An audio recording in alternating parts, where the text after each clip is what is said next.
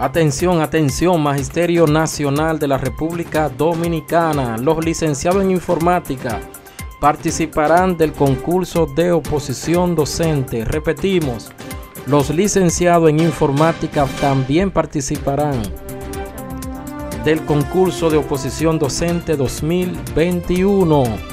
También están los orientadores y psicólogos tenemos el video de todas esas, de la declaración del señor ministro de Educación, de esas informaciones y demás.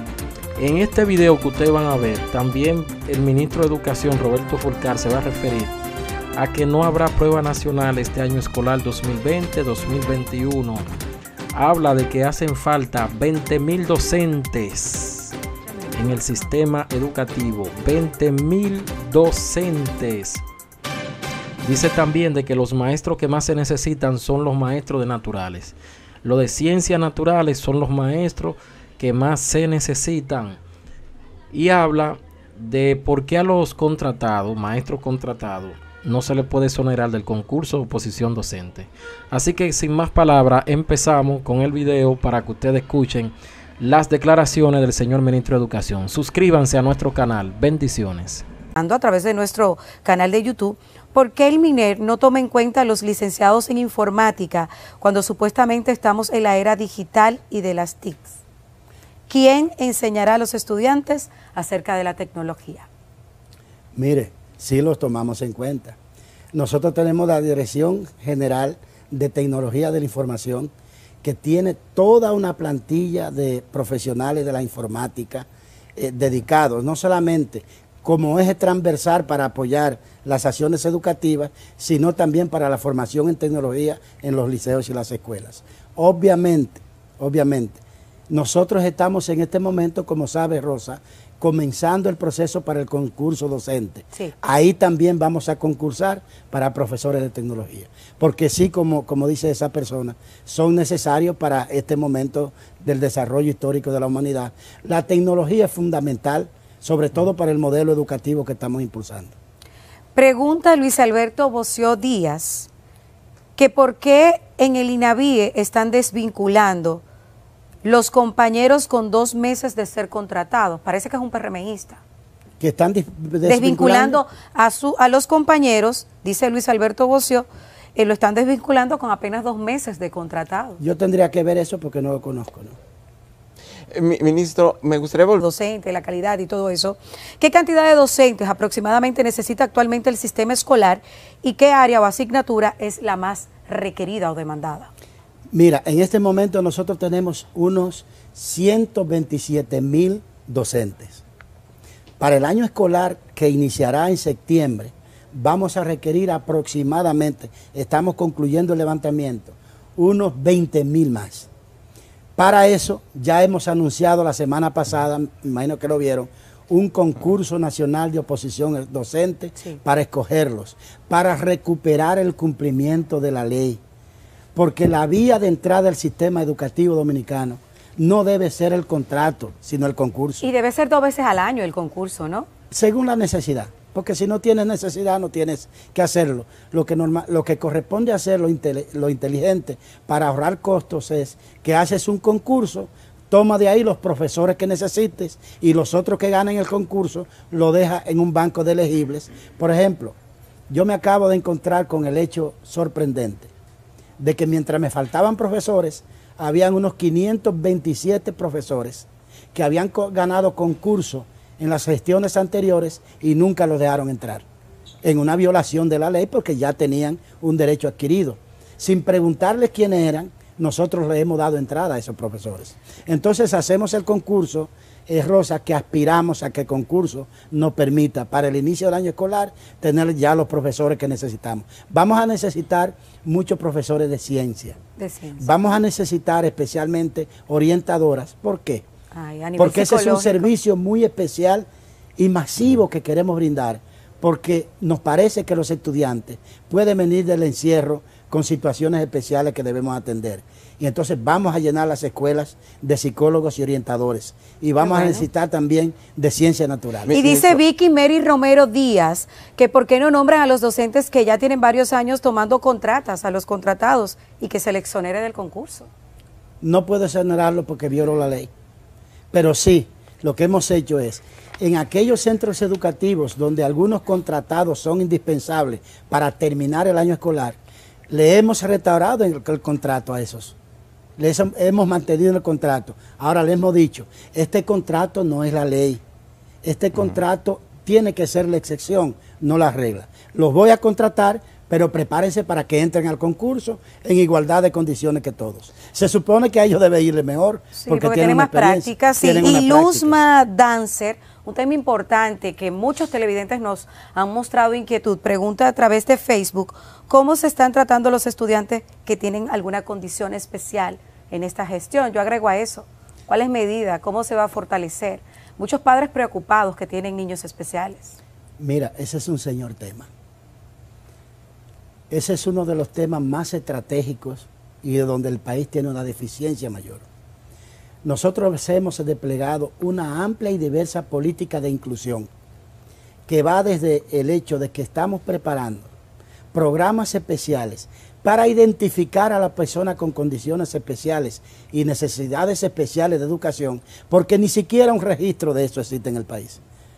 Tú sabes, Rosa, que no teníamos registro en el país de cuántos son los que tienen autismo, los que tienen problemas de la visión, del oído, etcétera, y en consecuencia nosotros estamos colaborando para tener un levantamiento serio de la cantidad de personas que tienen esas condiciones especiales y vincularlas al sistema de educación. En segundo lugar, por primera vez en la historia de la República Dominicana, los cuadernillos con los cuales estamos manejando la educación a distancia han sido preparados con el sistema Braille para permitir que pueda ser eh, hecho, eh, estudiado por personas ciegas. En tercer lugar, nosotros en este momento, de hecho, estamos adquiriendo un local que presentaremos en menos de un mes solamente para atención de personas autistas. Llevamos un proceso de capacitación masiva de equipo profesional especializado en atención a esa comunidad, porque ellos también son dominicanos y tienen derecho, como nosotros tres, a recibir educación.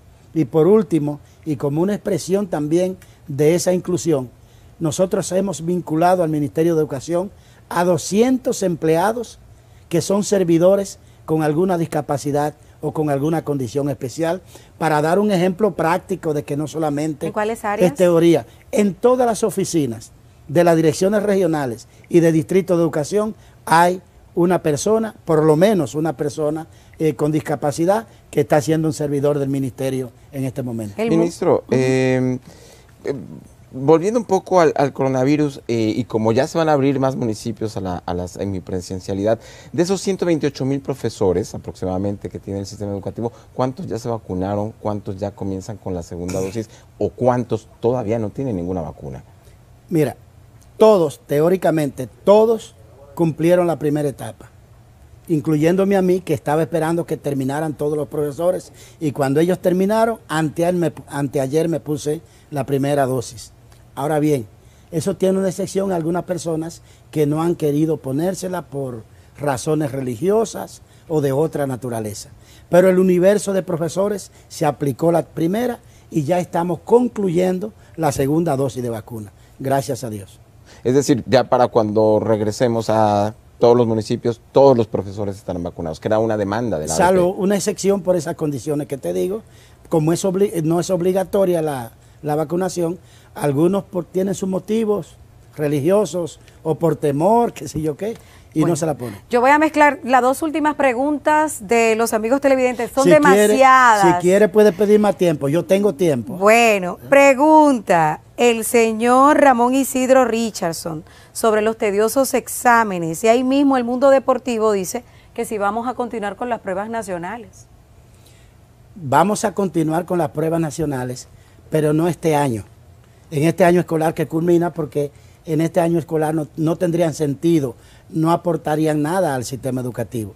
Pero sí en el próximo año escolar, Dios mediante, tendremos pruebas nacionales porque En vez de eliminar evaluaciones, el sistema para procurar calidad tiene que tener más supervisión, más planificación, más acompañamiento, más monitoreo, más evaluación y más investigación.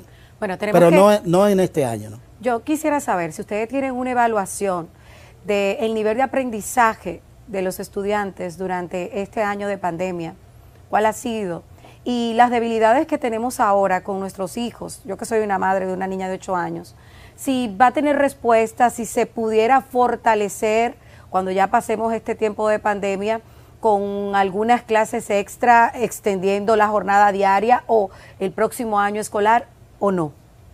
El próximo año escolar es el momento en el cual realmente, si continúa la tendencia de la pandemia como va hasta, hasta ahora hacia la baja, entonces el año escolar que viene probablemente sea el verdadero de aplicación del nuevo modelo educativo. La gente me pregunta, ¿la educación cuándo va a volver a ser como antes? Y yo digo, nunca más. No podemos mirar para atrás. Este retorno gradual que estamos haciendo, a las aulas es para recuperar experiencias positivas que tienen que ver sobre todo con el relacionamiento social de la comunidad educativa. La relación de los estudiantes con sus iguales, con sus compañeritos, con sus profesoras, de los profesores como colectivo pedagógico, de la escuela comunidad, eh, como con la comunidad.